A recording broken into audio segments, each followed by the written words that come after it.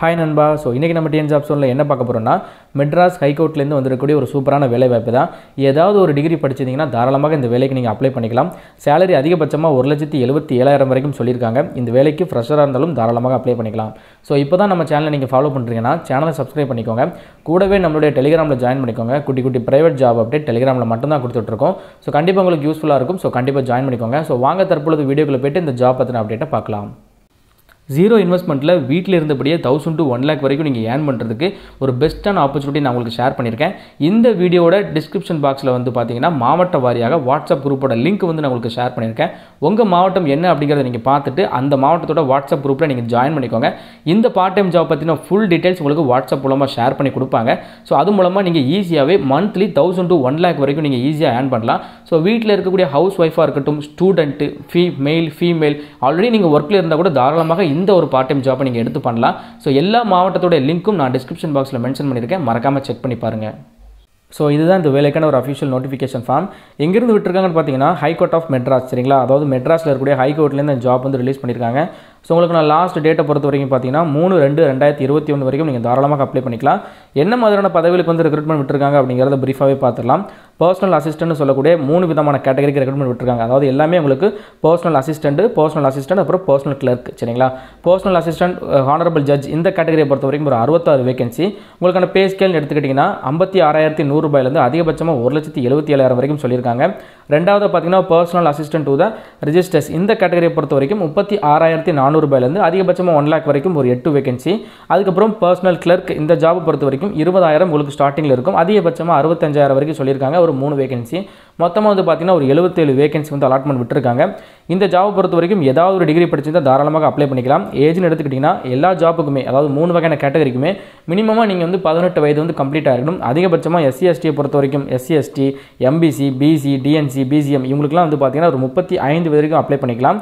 So அதுக்கப்புறம் வந்து பார்த்தீங்கன்னா எஸ் சர்வீஸ் மேனாக இருக்கட்டும் அதுக்கப்புறம் அன்ரிசர்வ்டு அன்ரிசர்வ்டுக்கு வந்து ஒரு முப்பது வயது வரைக்கும் தான் கொடுத்துருக்காங்க. Ex service man person with disabilities இவங்களுக்கு எல்லாமே நம்ம ஸ்டேட் கவர்மெண்ட்டில் இருக்கக்கூடிய அந்த ஏஜ் ரிலாக்ஸேஷன் இருக்குல்லையே ஆஸ் பர் கவர்மெண்ட் நாம்ஸை பேஸ் பண்ணி அதற்கான ஏஜ் ரிலாக்ஸேஷனை ப்ரீஃபாகவே கொடுத்துருக்காங்க.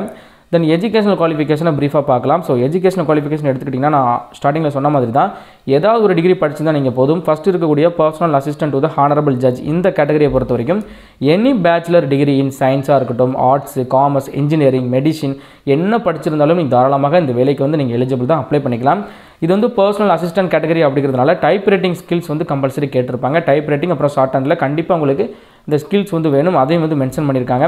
ரிமைனிங் இருக்கக்கூடிய அந்த பர்சனல் அசிஸ்டன்ட் டு த ரிஜிஸ்டர்ஸாக இருக்கட்டும் அதுக்கப்புறம் கிளர்க் இந்த ஜாபை பொறுத்த வரைக்கும் இதுக்கும் வந்து ஏதாவது ஒரு டிகிரி நீங்கள் சயின்ஸில் படிச்சிருந்தாலும் arts and science commerce engineering medicine என்ன படிச்சிருந்தாலும் தாராளமாக இந்த வேலைக்கு வந்து நீங்கள் அப்ளை பண்ணிக்கலாம். ஸோ அவங்க வந்து எக்ஸ்பீரியன்ஸ் அப்படின்னு சொல்லிட்டு எதுவுமே மென்ஷன் பண்ணலை. ஆனால் வந்து என்ன கேட்டிருக்காங்கன்னா ஸோ பர்சனல் அசிஸ்டன்ட் அதாவது பிஏ கேட்டகரி அப்படிங்கிறதுனால கண்டிப்பாக டைப் ரைட்டிங் ஷார்ட் அண்ட் இதெல்லாம் வந்து தெரிஞ்சிருக்கணும் அப்படிங்கிறத ப்ரீஃபாக போட்டிருக்காங்க. ஸோ இந்த வேலையை பொறுத்த வரைக்கும் ஆன்லைனில் தான் அப்ளை பண்ண போகிறீங்க அதற்கான ஃபீஸும் வந்து போட்டிருக்காங்க. எஸ்சி எஸ்டியை பொறுத்த வரைக்கும் பார்த்தீங்கன்னா எஸ்சி எஸ்டியை பர்சன் வித் டிசபிலிட்டிஸ் இவங்களுக்குலாம் வந்து ஃபீஸே கிடையாது. Remaining BC BCM MBC DC others unreserved இவங்களுக்குலாம் வந்து ஒரு ஆயிரம் ரூபாய். அதாவது நீங்கள் வந்து மல்டிபிள் போஸ்டிங் கூட நீங்கள் அப்ளை பண்ணலாம். ஒரு போஸ்ட்டுக்கு வந்து ஆயிரம் ரூபாய். தனித்தனியாக அப்ளிகேஷன் நீங்கள் சப்மிட் பண்ணுற மாதிரி இருக்கும் சரிங்களா? அது இல்லாமல் உங்களுக்கு ஒவ்வொரு மூணு வகையான கேட்டகரி இருக்கிறதுனால ஒவ்வொரு கேட்டகரிக்கும் சேலரி வேரி ஆகுது இல்லையா? அதே மாதிரி உங்களுக்கு எக்ஸாமும் வந்து வேரி ஆகும் சரிங்களா? எக்ஸாம் வந்து பேட்டர்ன் வந்து வேரி ஆகும். ஸோ அதுவும் அவங்க மென்ஷன் பண்ணியிருக்காங்க. டிகிரி ஸ்டாண்டர்டில் தான் உங்களுக்கான எக்ஸாம் இருக்கும். செலெக்ஷன் ப்ராசஸ் வந்து ஃபஸ்ட்டு ஒரு காமன் ரிட்டன் எக்ஸாமினேஷன் வைப்பாங்க. நீங்கள் எந்த ஜாப்புக்கு அப்ளை பண்ணாலும் உங்களுக்கு இந்த காமன் ரிட்டன் எக்ஸாமினேஷன் இருக்கும். அதுக்கப்புறம் ஸ்கில் டெஸ்ட்டு அதுக்கப்புறம் வந்து அவங்களுக்கு ஓரல் டெஸ்ட் ஓரல் டெஸ்ட்னா உங்களுக்கு இன்டர்வியூ சரிங்களா? ஸோ இந்த எக்ஸாம் எல்லாமே நான் சொன்ன மாதிரி டிகிரி ஸ்டாண்டர்டாக தான் இருக்கும். ஸோ அது என்னென்ன கொஸ்டின்ஸ் வந்து கேட்பாங்க சிலபஸ் என்னென்ன அப்படிங்கிறதையும் ப்ரீஃபாக கொடுத்துருக்காங்க. ஸோ இதில் வந்து பெரிய ஒரு பெரிய ஹைலைட் பாயிண்ட் என்னென்னு பார்த்தீங்கன்னா நெகட்டிவ் மார்க் வந்து கிடையாது சரிங்களா? ஸோ உங்களுக்கு வந்து ஒரு எழுபத்தஞ்சு மார்க் வந்து ஃபஸ்ட்டு வந்து நூறு மார்க் ரிட்டன் டெஸ்ட்டு அந்த நூறு மார்க் நூறு மார்க் எக்ஸாம் பொறுத்த வரைக்கும் பார்த்தீங்கன்னா எழுபத்தஞ்சு கொஸ்டின்ஸ் அதாவது எழுபத்தஞ்சு மார்க் வந்து பார்த்தீங்கன்னா உங்களுக்கு டிஸ்கிரிப்டிவ் டைப்பில் இருக்கும். ஸோ அதுக்கப்புறம் வந்து பார்த்தீங்கன்னா ஒரு இருபத்தஞ்சு மார்க் வந்து உங்களுக்கு objective type objective டைப்னா choose the best answer like அந்த மாதிரி இருக்கும் அப்படிங்கிறத கொடுத்துருக்காங்க. ஸோ அதுக்கப்புறம் வந்து உங்களுக்கு ஸ்கில் டெஸ்ட் இருக்கும். இந்த ஸ்கில் டெஸ்ட் இது வந்து பார்த்தீங்கன்னா கம்பல்சரி டைப்பிங் ரிலேட்டடாக வந்து ஸ்கில் டெஸ்ட் வந்து கேட்டிருக்காங்க. ஸோ இதெல்லாம் உங்களுக்கு இருந்துச்சுன்னா தாராளமாக இந்த வேலைக்கு நீங்கள் அப்ளை பண்ணிக்கலாம். ஃபைனலாக வந்து உங்களுக்கு oral test oral test means உங்களுக்கு வந்து இன்டர்வியூ இருக்கும். அது மூலமாக உங்களை வந்து ஷார்ட் லிஸ்ட் பண்ணி மெரிட்டில் தான் ஃபுல் அண்ட் ஃபுல் மெரிட்டில் தான் செலக்ட் பண்ணுவாங்க சரிங்களா? ஸோ உங்களுக்கான பிளேஸ் ஆஃப் போஸ்டிங் எங்கே இருக்கும் அப்படிங்கிறதையும் ப்ரீஃபாகவே இதில் கொடுத்துருக்காங்க. ஸோ நம்ம தமிழ்நாட்டை பொறுத்த வரைக்கும் ஹைகோர்ட்டில் உங்களுக்கு நீங்கள் ஜாப் வந்து செலக்ட் ஆகிறீங்க அப்படிங்கிற பட்சத்தில் சென்னை ஹைகோர்ட் அதுக்கப்புறம் மதுரை ஹைகோர்ட். இந்த ரெண்டு பிளேஸில் உங்களுக்கு பிளேஸ் ஆஃப் போஸ்டிங் இருக்கும். ஒன்று சென்னையில் இருக்கும் இல்லைனா மதுரையில் வந்து உங்களுக்கு பிளேஸ் ஆஃப் போஸ்டிங் வந்திருக்கும்.